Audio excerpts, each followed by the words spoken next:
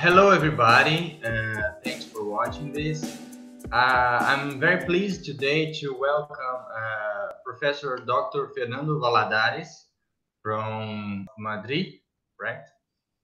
And in here in our laboratory of ecology and evolution of plants from Universidade Federal de Viçosa, Brazil. So I'm I'm really happy. I'm really glad to have you here, Fernando. Mm-hmm. And would you like to introduce yourself? Like, what is your major degree? Degree, your Mhm. major uh, graduation, and why did you get here? Like, how did you get here? Why why Mhm. did you choose this career? Okay. Yeah, hello. Yeah, as, as you said, I am Fernando Valladares from, from Spain. I actually belong to two institutions, to, to a university where I give some uh, lessons and teachings and conferences on ecology and, and the impacts of human activities on the ecosystems. And also I am a researcher at the Spanish Research Council, the CSIC, CSIC. And, and this is a research-only institution uh, where we do research related to, again, the impacts of human activities in, in terrestrial ecosystems. But in this case, we, we measure photosynthesis, so we study the community dynamics or different ecological aspects uh, related to mm, global change issues. How did I get here? Well, uh, since I was a, a little child, I always liked and loved animals and plants and was very attracted by, by all sorts of, of uh, biological questions.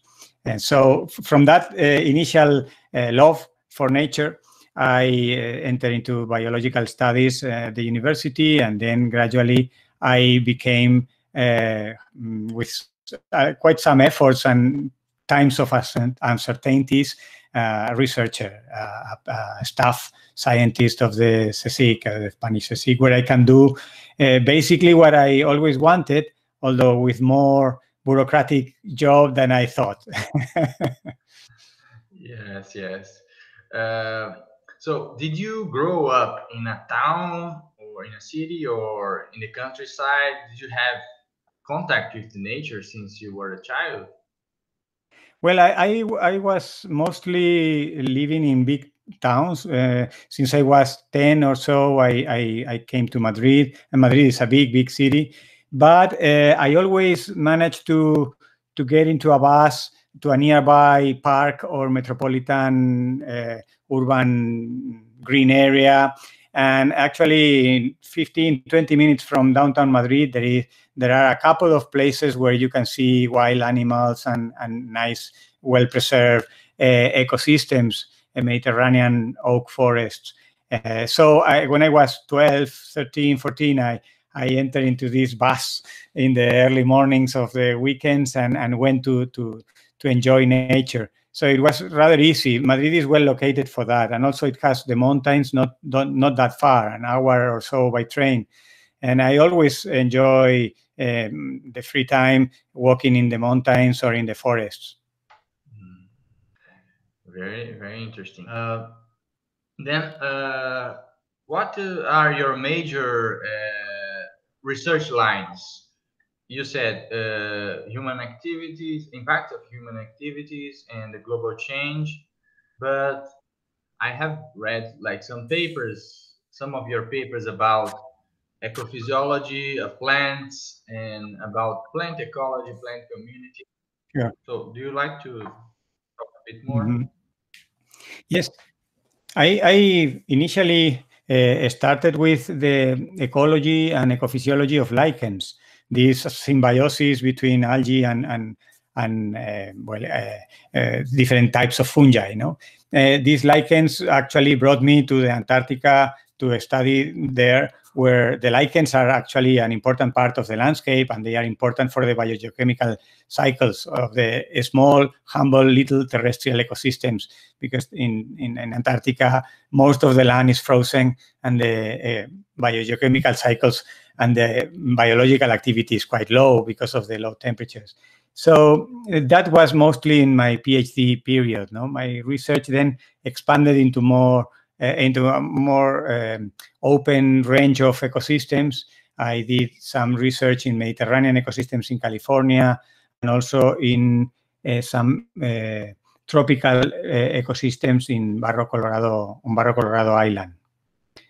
Uh, I, I, I, did a lot of studies on ecophysiology, uh, exploring the capacity of individual plants to respond to low light and uh, drought. Those were the two factors that I was interested in understanding the physiological responses and also the architectural designs and the morphology and anatomy associated with the physiology that allowed the plants to cope with uh, low light limitations. Uh, then I enter into these um, broader concepts of phenotypic plasticity, that is the capacity of individuals to um, accommodate the physiology and the morphology and the behavior to the current environmental conditions. And this plasticity was the evolutionary and ecological concept that uh, served as a, as a framework for most of these studies at the individual level. And gradually I moved from the individual level to the community level to see species interactions and, and how the communities uh, ensemble, how the species get together, how they complement the functional uh, features of, of, of, each species. And, and this uh, led me to the functional trait kind of spectrum and, and, and description in, in plant communities mostly. And as I was evolving and as I was involving more uh, students and, and engaging into collaboration with other scientists, I was able to include more, more topics uh, and more, more approaches. So ecophysiology was one way of measuring things, but then we were able to, uh, to use molecular techniques to see genetic diversity and the possibilities for evolving certain traits and, and cooperating with zoologists we were exploring plant-animal interactions, and, and then all these kind of questions and technologies and approaches were pointing to understand better how the ecosystems, not only the individuals and the species, uh, respond and are impacted by human activities. Uh, gradually, I, I, was more interested in not only the pure and abstract uh, evolutionary and ecological concepts, but also how they uh, can um, improve our, our, understanding of the true impacts of our activities in the natural world. This is the nowadays for the last decade or so the main the main goal to to better quantify and understand how uh, and to in which levels uh, our activities impact the functioning, the, the sustainability of ecosystems, and the services that they provide, etc. Yeah, that's a very important topic nowadays, correct? Many, many research groups yeah. are trying to understand how the, the, climate change are going to impact uh, humans. Mm-hmm. So, uh, do you think these are the major uh, contributions from your research, from your uh, from your work, your uh, I, I've, I've also seen some of your talks so uh, it's like to spread in trying to spread the, the, the, the, science to, to to share the science to the people. So mm-hmm. what, what do you think are the major contributions from your of your research to the society? Well, uh, there are several lines of uh, of things that can be useful for society. Uh, pure knowledge, uh, the, the, better understanding of Mediterranean or tropical ecosystems for the sake of understanding. This is one contribution that actually has been um, key over, I would say, 20 years or so, and is still important.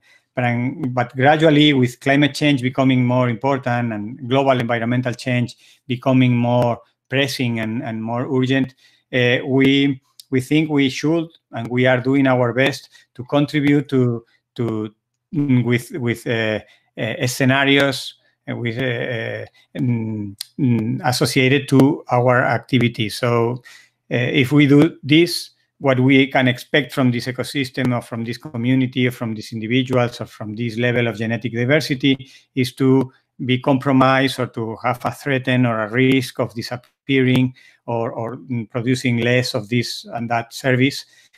And, and this kind of uh, prediction or anticipation of mm, of the impacts of our activities on, on specific species and specific functions are nowadays uh, the, the, more, the most important um, goal for our um, research and and so forth. But also very challenging is is to be able to communicate all this in in plain words. So it's, it's so easy for scientists and academics in general to, to use jargon and to be very technical uh, with the specific advances in the knowledge that a given research or PhD project or, or grant uh, contributes, but uh, in parallel and, and make a, a, synthesis of our understanding and of our contributions so they can be understood by everyone and they can be appreciated and incorporated even into political decisions. So uh, and this is a challenge, not to lose scientific uh, soundness, but to be simple enough to be understood by anyone without a biological uh, degree or without a technical knowledge. Yeah, I agree. Like uh, transforming and showing this all this knowledge to the common, like in a common language, in a plain language, like you said, is one of the major challenges we have and especially how to make these scientific findings to reach our uh, decision makers the stakeholders the, the, the, our governments right?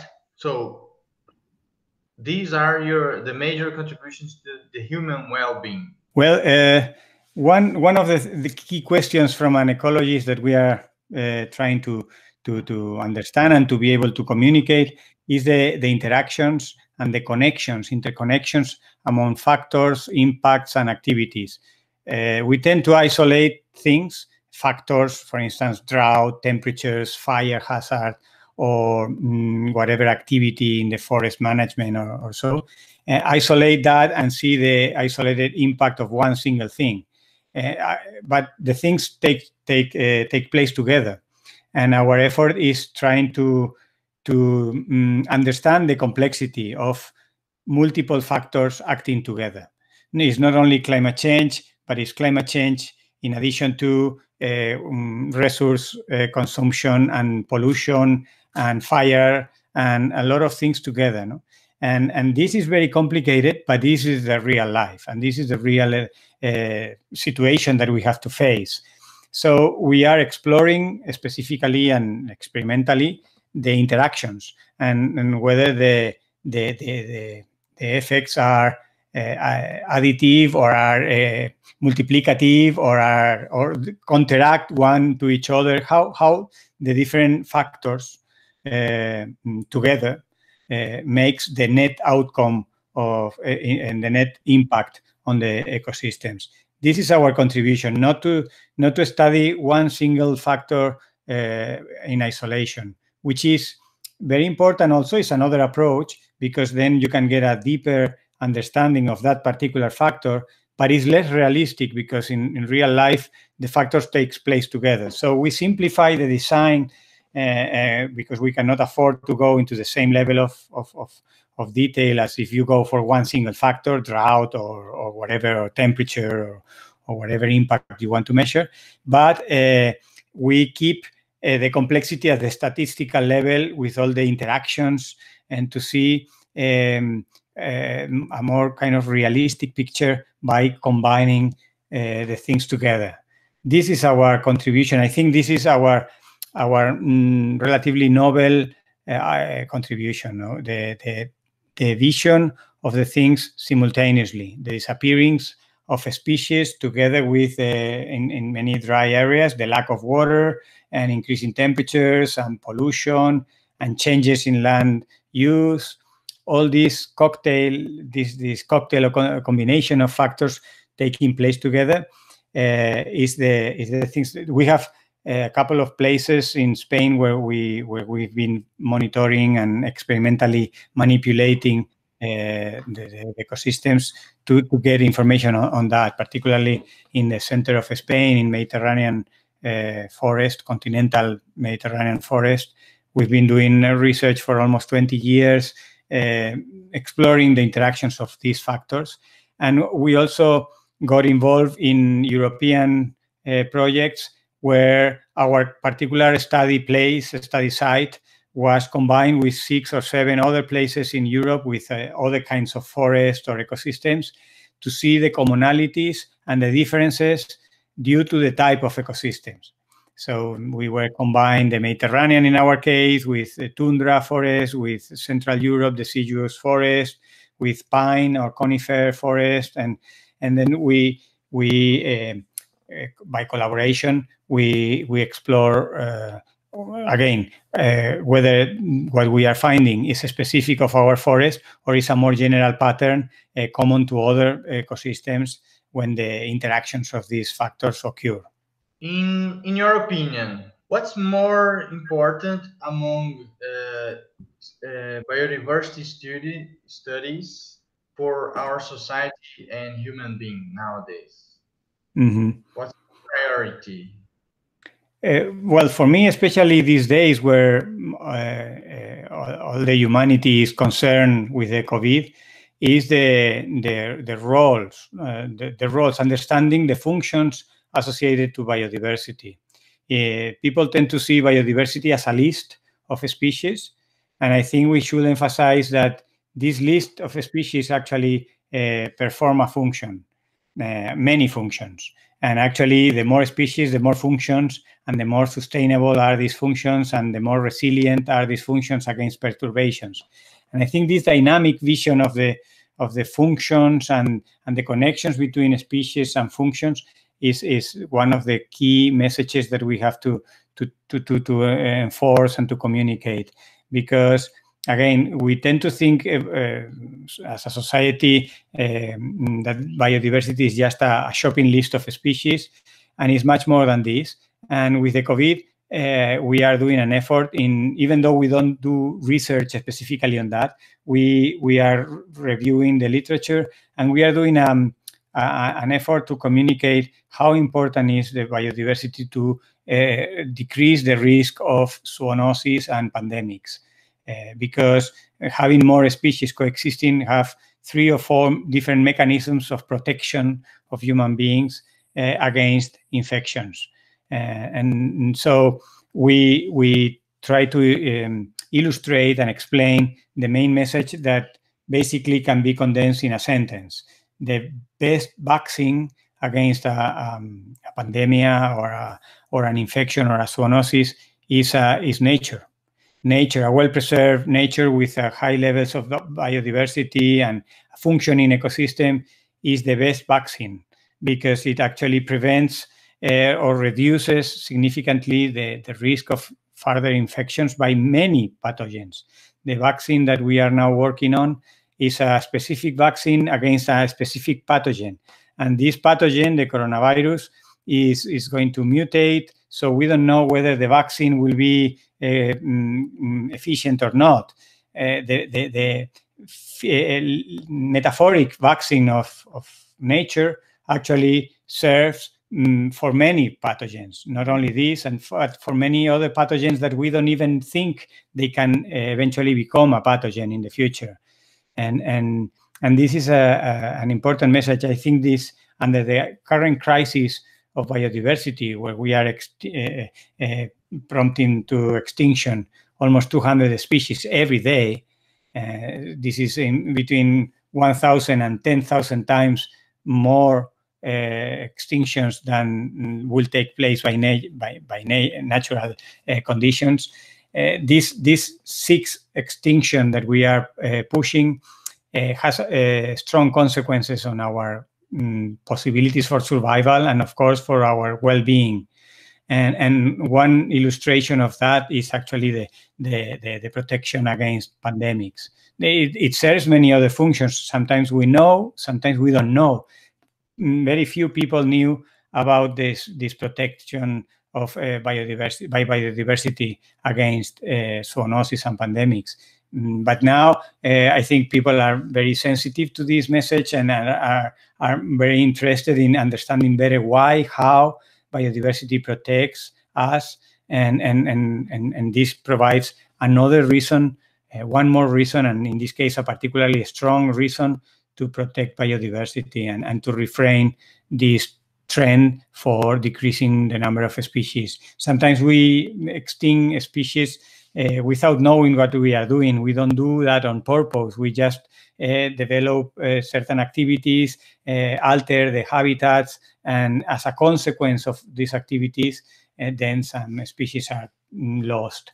And now we think it's time to reconsider that because the loss of species is, is having an impact on, on our lives, on our current lives, not only uh, uh, after uh, or under ethical or moral uh, responsibilities you know, that we should keep the species alive or so this is much more crude and direct than that is is that actually our survival depends on the existence of these species out there no? and um, it's interesting to also to highlight uh, the climate changes that mm-hmm. the the world is facing now, especially because basically because of uh, human activities. So uh, about climate change, I've heard that you have done some research and you're really dedicated now to this topic. Uh, mm-hmm. Would you like to talk a little bit more? Sure. Yeah, I enter into the climate. Especially in this pandemic scenario because I've, I've read that many there is a, the risk that many viruses and other pathogens that were, for example, frozen, that they mm-hmm. were literally frozen, they now, can for example, come back to life. Yeah. And of all the uh, ecosystem functioning that you have already mentioned, mm-hmm. but we all have this risk, right? Yes. Well, this is a, a good example of interaction, and this these kind of interactions are very interesting for us as a, as a research topic, but it's also very relevant for the society because again, this is the reality. The reality is that we we are involved into a climatic emergency, in a climatic uh, crisis. Uh, we are warming up the atmosphere, and this is having a lot of consequences in the in the in the climate all over the world in many places uh, we get drier conditions in other too much water uh, uh, very extreme conditions and, and extreme events so the the, the climate is changing in many aspects due to this warming of the atmosphere due to this increase in the energy that that is intercepted and, and captured by the atmosphere and and this is actually occurring at the same time than other problems. No, and, and now we have a sanitary problem with these pandemics, and, and we have many threats by uh, other pathogens that, as you said, are frozen or has been kept frozen in glaciers or in the permafrost for, for centuries or for millennia. And now with the climate change, uh, the, the, the, the ice is melting and some of these potential pathogens or these unknown microorganisms or virus um, are released. And the possibilities are um, a little scary. Um, we don't know much about them. Uh, many are not mm, pathogenic at all. They are just uh, microbia that are not known by scientists, but uh, but some of them may have potentials for uh, being being a threat. Actually, some varieties of the Spanish flu, for instance, were frozen and now released, uh, or, or, anthrax, the anthrax in Siberia that was frozen and, and then unfroze, unfrozen and released. It was causing uh, several problems, uh, health problems. Local, so far they were local, but the potentials to become more widespread and general as the warming keeps going uh, uh, are, are important. So this is a, an example of an interaction no, between climate change and a pandemic and a zoonosis and a risk of infection. And in many cases, the, the infections and the zoonosis are uh, requires a, a, vector, a mosquito or, um, or a tick. Uh, they are the two most important ones. And ticks and mosquitoes uh, are um, promoted uh, by warming conditions. In general, in temperate countries, in, in northern and southern latitudes, farther away from the from the equator and the tropics, um, the warmer conditions, the warming uh, climate is increasing the activity of these vectors is actually allowing some exotic tropical origin uh, vectors to get established and to get active.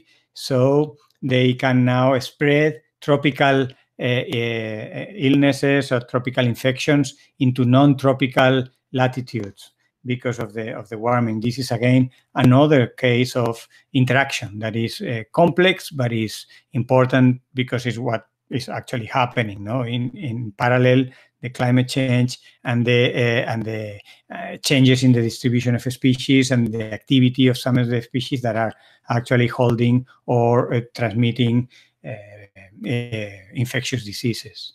Yes, uh, that's that's very interesting to hear because um, we we are used to it here. Uh, for example, to the dengue flu, the yellow fever, and the, these uh, African mosquito that was brought here became well uh, well established and widespread, and possibly these these mosquitoes, as you said, are going to go much mm -hmm. further and then populations that are not used to it mm -hmm. yet. But also, uh, it's important mm, to see not only that the tropical things are moving to the non-tropical latitudes or regions, but also uh, as the destruction of the tropical forest, for instance, is taking place, now the, the source for zoonosis and, and potential pandemics are moving from the temperate zones 40 or 50 years ago most of the origins of the zoonotic infections were temperate zones in, in North America, in Europe, and you can see that the origins of, of infections from animal uh, origin was, was taking place in temperate zones. Now, the, the, the deforestation and the degradation of uh, tropical ecosystems is uh, associated now with a tropical uh, blooming of potential pathogens uh, in this in this region.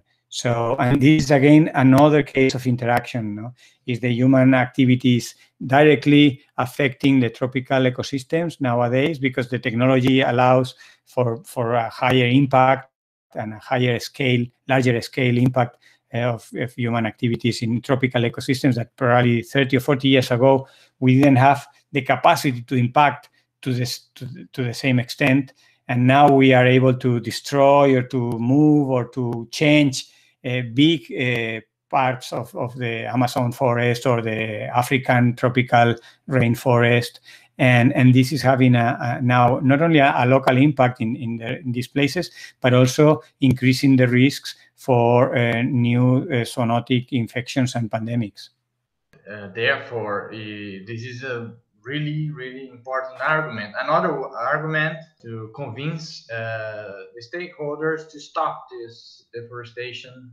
Mm-hmm. That's and, but we have to we have to be creative in providing alternatives because um, I don't think it's very useful and practical to forbid, to stop, to deny, to to punish, uh, because this has a limit. if you enforce a law a fraction of the people will manage to avoid that law or so by by this way we only reach a certain percentage of accomplishment. And we need to to uh, to to provide alternatives. And this has to be an international concerted action from from different countries from different communities to see that there is um, a planetary health that uh, the health of of all human beings uh, is is uh, is connected somehow among the different humans, but also with ecosystems.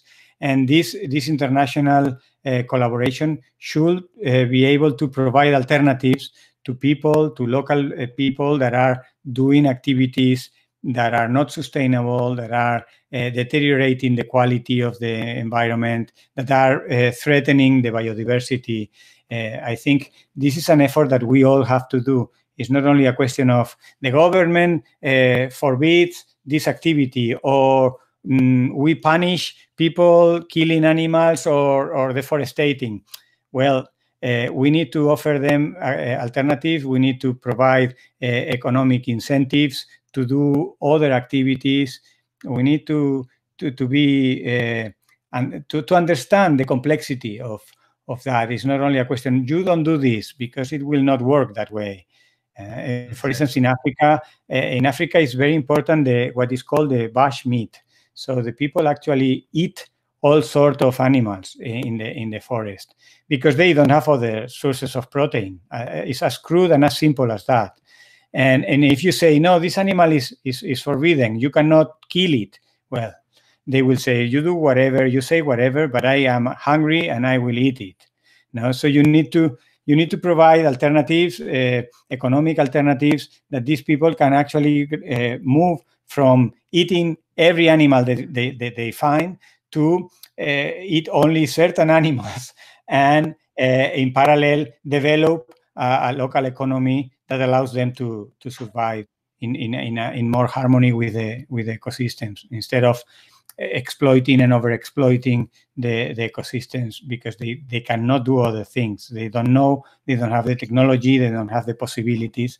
So it's that's why I'm I'm saying that the ecologists have to to explain well the connections, uh, but also have to to talk to economists and and be able to engage into into multidisciplinary teams uh, involving politicians, the society. So, to, yeah. to be able to, to reach a, a, more solid uh, proposal. No? Sure, sure. Yes, uh, the, one of the the main words nowadays is like the, the multidisciplinary uh, approaches. Mm -hmm. Exactly. Uh, so uh, just to come to an end, like uh, of our conversation, mm -hmm. do you think there is any environment, any ecosystem in Brazil or in Latin America, in, in, in or in, in, the rest of the world, uh, that you think it's neglected in terms of ecological studies, in terms of attention for conservation measures? Yeah, well, the, the, the Amazonian forest is still um, poorly understood. It's so complex. Uh, the, we don't even know the, the number of tree species that are there there are only mathematical models extrapolating how many species could be, how many thousands of uh, tree species could be. So uh, this is an example of a very complex ecosystem. And in some cases, even the logistics to, to do research there uh, are, are so complicated that makes the, the, the uh, development and the advance uh, a, a, real, a, a real challenge. No? So the, the, the Amazon, even though it is so famous and many people willing to to study it and, and, many international teams from Europe or from North America or, or are, are, willing to, to, to, to do research in Amazonian. The Amazonian is so complex that we only know a little part of, of all the species and the processes and the sensitivities. We get big numbers of the Amazonian forest um, doing worse and worse, fixing less and less carbon, and we only understand part of it. Uh, it, it, cannot be explained only by deforestation. The, the, the, the, trees that remains in place are doing worse, and we don't understand exactly why. Uh, and there are many things to be done uh, on the site, on the spot, uh, that requires field field work that is hard to do. Mm, we get a lot of nice satellite images from the Amazonian forest and we can track the fires, we can track the, even the, the amount of chlorophyll or things like that. But there are many mechanisms that we don't understand and requires a lot of uh, expertise to understand the species, to identify the trees, but also efforts and human uh, mass and human power uh, to do to do research there. There are other uh, important uh, ecosystems like the Cerrado ecosystem, which is an interesting one in terms of the interaction between human activities and natural processes. No?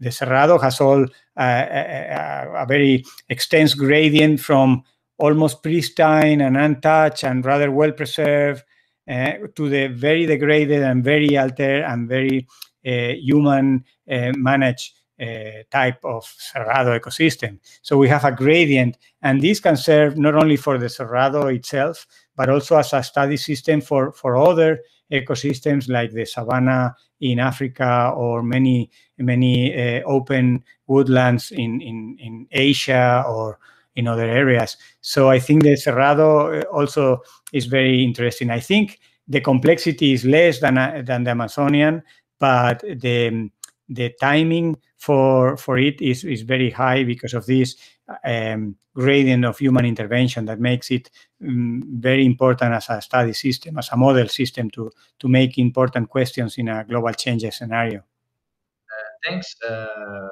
Fernando. Uh, I think just to finish, uh, do you have uh, do you are you part of any graduate team, any graduate program master and doctor PhD students now? Yeah. Yes, I am involved in, in, in a couple of them, and and we are um, uh, trying to provide skills in, in many aspects, not only in the ecological, biological knowledge and understanding, but also in in, in the tools like uh, statistics or molecular, and, and also the communication skills uh, that I was mentioning at the beginning, communicating to other scientists, communicating to society, the, the, the Mm, we em, enforce a lot the, the communication skills at different levels and with different formats. It can be videos, it can be audios, it can be uh, uh, online, uh, direct, or can, exactly. Or and, and, features or exactly. This is very important because Eh, in order to to get um, the society moving in this eh, in, in this necessary change of, of, of, our relationship with the nature, with the environment and with nature, we, we need to be able to communicate the interesting and fascinating aspects of our research, the implications for our safety and life life quality. And so we have to be able to communicate good and bad, positive and negative uh, findings and results.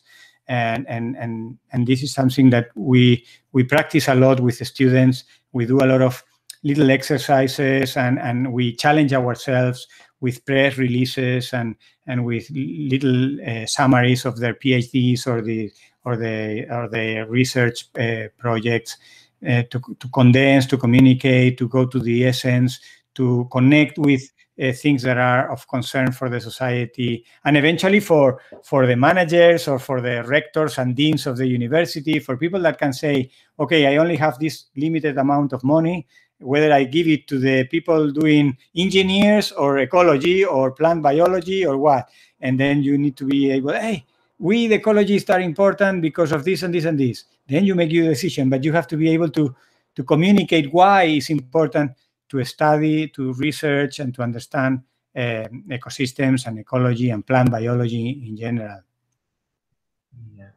And have any other recommendations to students to young researchers mm-hmm. or general public, for example? Any recommendation like reading? Well, for, for me, the, the, there are at least a, a, sort of a list of recommendation of different types. In, on the first hand, I think we, we need to enjoy what we are doing to do it well. Uh, sometimes we do things because we think we have to do it. Uh, and and we we are in a fortunate situation because actually nature and the, the, the understanding and the studying of nature can, can actually be very rewarding.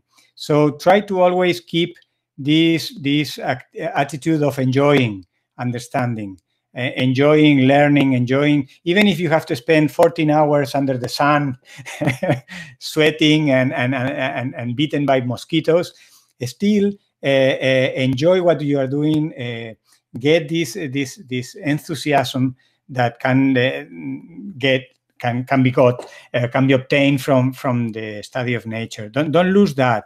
If you are doing something that at some point is not so rewarding, uh, stop and analyze why it's not rewarding. What are you doing wrong? And why are you losing your interest and your enthusiasm? Because this is a long-term kind of activity. Either the research, the PhD, or whatever. And even the communication to the society has to be sustained years after years no? So it's a it's a it's a it has to be taken as a long term marathon kind of no? Uh, so if if you uh, run out of motivation if you run out of happiness in your in your work stop and think why is this happening? Either because the the objectives are not that rewarding or because something is wrong or you are losing your motivation, stop. It's, it's very important to stop and, and renew your batteries, renew your attitude, and, and, and, and be active and motivated again because you will have to fight against all sort of complexities, difficulties. Uh, uh, it will be uh, plenty of obstacles. The, the actual daily life of the research is, is like that, but also when you find out that the biodiversity is decreasing or the climate change is impacting this and that, you are always having bad news.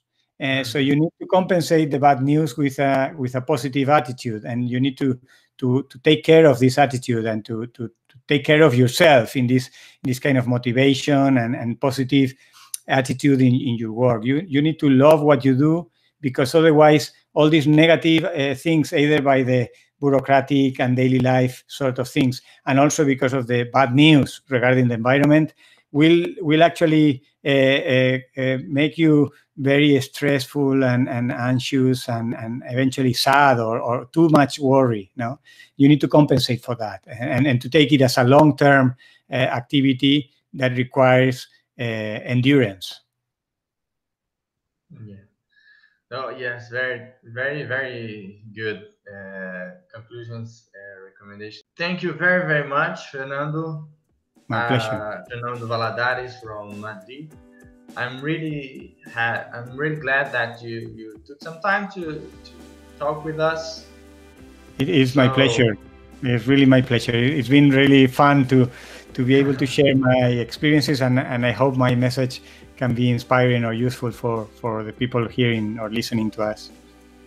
Thank you very much very much and as soon as you uh, the situation gets better, we, you are very welcome here. Sure, thank you.